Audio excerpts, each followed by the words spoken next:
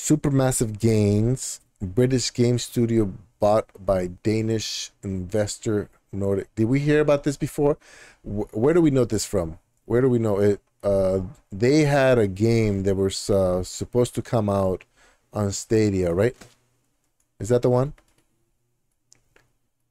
Until Dawn and the Quarry. Oh, yeah, yeah, yeah, yeah. Okay, so this is the Quarry. Has been purchased by Nordisk Games. This is the seventh gaming company currently owned by a Danish firm.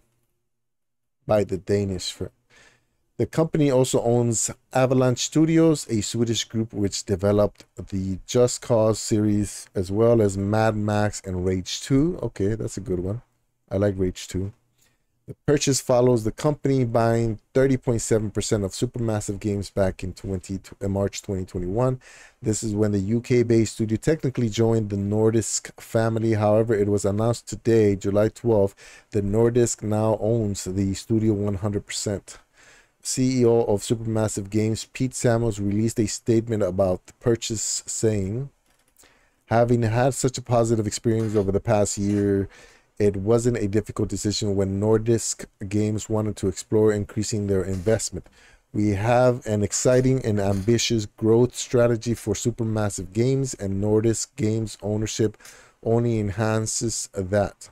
I'm hugely excited about where the security offered by this partnership and continued access to the expertise within Nordisk Games will take us next. Supermassive Games' most recent game, The Quarry, came out in June to positive reviews. Womp, womp, womp. There we go. See Stadia. It was the fourth best selling game in the UK the week it came out, with the vast majority of sales coming from PlayStation users. Aside from developing its own game, Supermassive Games also works on projects for other studios.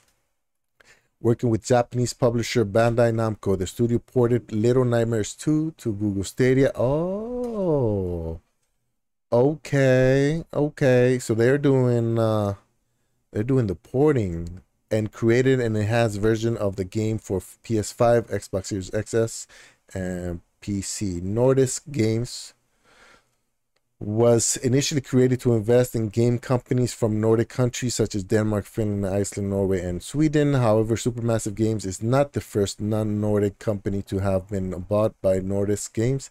In 2020, the firm purchased Mercury Steam, a Spanish developer best known for creating Metroid Samus Returns. Supermassive Games is currently working on The Devil in Me, the fourth game in its Dark Picture anthology. At the time of writing, there is no specific release date for the game, but the company has said it will come out in autumn this year. Mm. Okay. It's very interesting. So they did the porting, right? So I'm assuming since the relationship, I wonder if the relationship got frail or got uh, Oh man, so they they had like a insight on the porting system. That kind of sucks, man. That kind of sucks. Yeah, so that that kind of stuff Google should have picked up. If they ported somebody else's game into Google Stadia, uh, they should have picked them up before these guys did. Oh, that sucks. Yeah, I can be mad at that.